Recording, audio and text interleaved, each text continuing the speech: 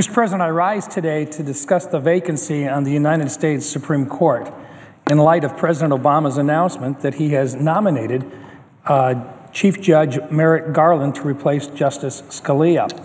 Replacing Justice Antonin Scalia, who was one of our court's strongest defenders of our Constitution, will be difficult. For almost 30 years, with his brilliant legal mind and animated character, he fiercely fought against judicial activism and legislating from the bench.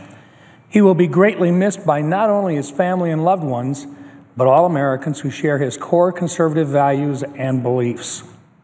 Under the Constitution, the President shall nominate a replacement, as he did today, and the Senate has a constitutional role of advice and consent.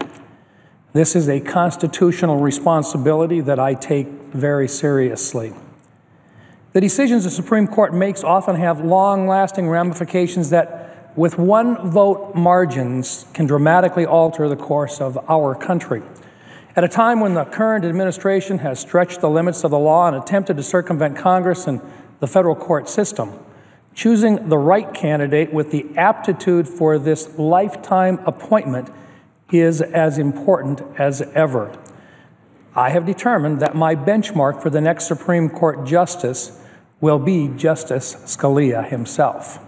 Scalia's strict interpretation of the Constitution in deference to states' rights set a gold standard by which his replacement should be measured.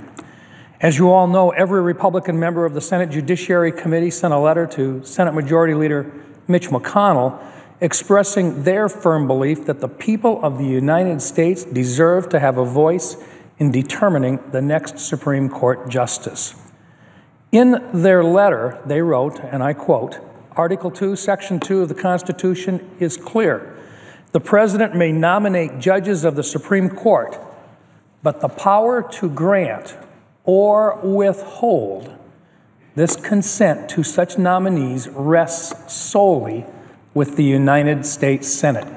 End quote. As a result, the committee does not plan on holding any hearings related to this issue until after a new president has taken office.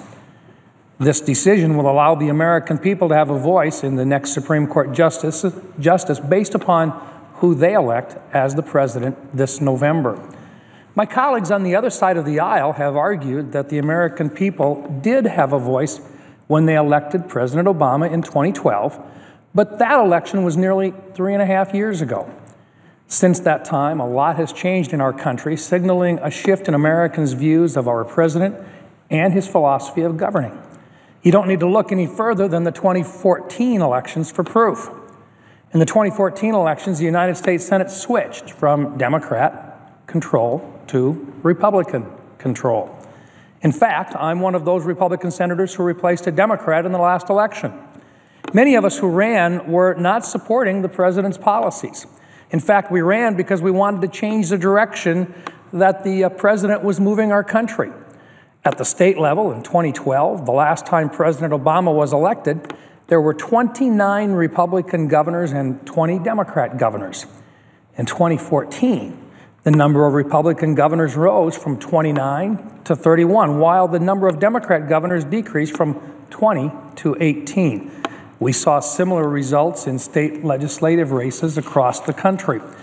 In 2012, Republicans held a majority in both chambers of 26 state legislatures. In 2014, that number rose to 30.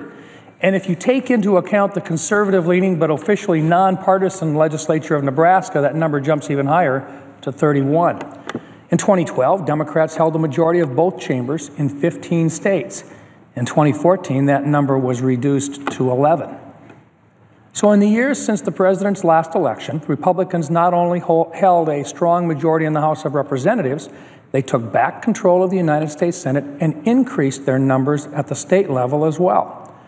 There's no doubt that there has been a clear shift in the minds of the American people since President Obama's last election. I believe, just as many of my colleagues, that the Republican victories of 2014 should be taken into consideration, and therefore we should wait to confirm the next Supreme Court justice until after a new president takes office. Overwhelmingly, South Dakotans who have contacted my office agree with this decision. One gentleman from Lemmon, South Dakota wrote to me saying, and I quote, Our country hangs in the balance as to what the future of this great country will look like. This decision is too crucial, and the next Supreme Court nominee should be nominated by the next President of the United States. End of quote. Another South Dakotan from Brandon, South Dakota noted that, and I quote, This is a rare opportunity for the American voter to actually have a voice in how the court will be structured for many years to come. Please help preserve that opportunity for us all. End of quote. In another example, a woman from Estelline wrote saying, Hearing of the passing of Justice Scalia was heartbreaking news. I ask that you do your part to allow the people to have a say in who the next justice of the Supreme Court will be. These are just a few examples of the numerous South Dakotans who have contacted my office who agree that the American people deserve a voice in the direction our country will take in the decades to come. And as much as my colleagues on the other side of the aisle would like to see the Senate confirm a nominee from our current president, the reality is that when the tables are turned, they agree with our position. In fact, it was Vice President Joe Biden who, when he served as the chairman of the Senate Judiciary Committee, said on this very floor in 1992 that, and this is his quote, it is my view that if the president goes the way of Presidents Fillmore and Johnson and presses for an election year nomination, the Senate Judiciary Committee should seriously consider not scheduling confirmation hearings on the nomination until after the political campaign season is over. End of quote. And it was Minority Leader Harry Reid who said in 2005 that, and once again I quote, the duties of the United States Senate are set forth in the Constitution of the United States. Nowhere in that document does it say the Senate has a duty to give presidential nominees a vote. And the Senate Democrats' next leader, Senator Schumer, who said in 2007, close to two years before President Bush's term ended, that quote, that we should not confirm any Bush nominee to the Supreme Court except in extraordinary circumstances. End of quote. Whoever is confirmed to fill the open seat on the Supreme Court will be serving a lifetime appointment. Keeping in mind the current political makeup of the court, the man or woman who will replace Justice Scalia has the potential to hold incredible influence over the ideological direction of the court for a generation to come. It is critically important that the next justice is committed to upholding the principles of the Constitution. We owe it to Justice Scalia, our judicial system, and the Constitution to uphold the highest standards when determining our next Supreme Court justice.